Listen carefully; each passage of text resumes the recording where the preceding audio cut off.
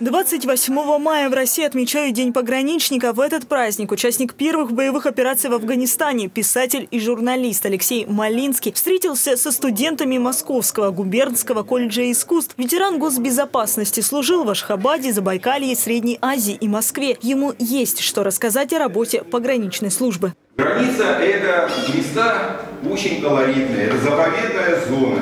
Да? То есть это там, где вход запрещен, есть специальная пограничная зона, где кроме нас вообще никого нет. И, естественно, животный мир там преобильный.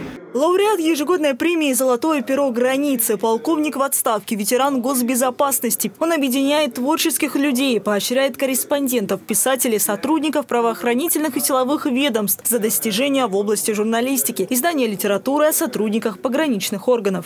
В рамках проекта «Мы первые» мы пригласили к себе в гости жителей микрорайона, рассказать о себе, о своей истории, о своей работе. Очень много удивительных людей проживает. И мы стараемся показывать и рассказывать о них обязательно в рамках проекта «Мы первые». Алексей Малинский рассказал студентам о своих достижениях, показал награды и презентовал книгу Аллы Маки Арваза, которую написал год назад. Когда ты служишь, у тебя времени ни на что нет. Ты всецело отдаешься службе.